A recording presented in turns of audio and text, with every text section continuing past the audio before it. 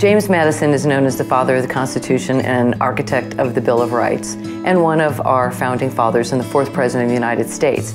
But all of that would sort of seem like ancient history if you didn't really think about the changes that Madison made possible in the world today.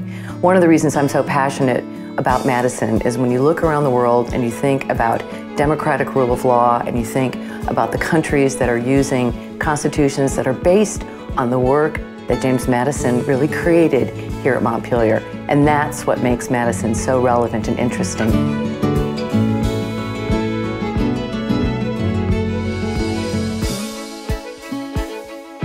David Rubenstein's gift of $10 million really focuses on two different areas. 6.5 million is for the ongoing restoration of the mansion, and 3.5 million is for the South Yard.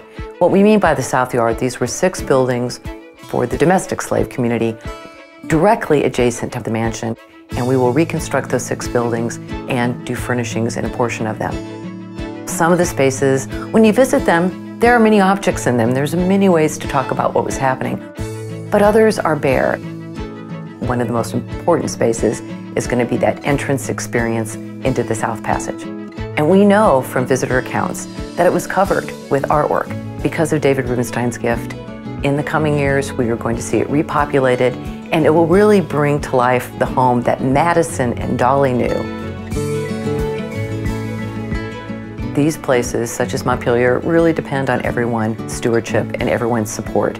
And this gift, while incredibly important to us, does not diminish that we really do hope for and long for the support of others. So I hope his gift will inspire others to be generous to James Madison's Montpelier, and I certainly hope that every American feels that they are welcome here and come to visit the birthplace of the Constitution.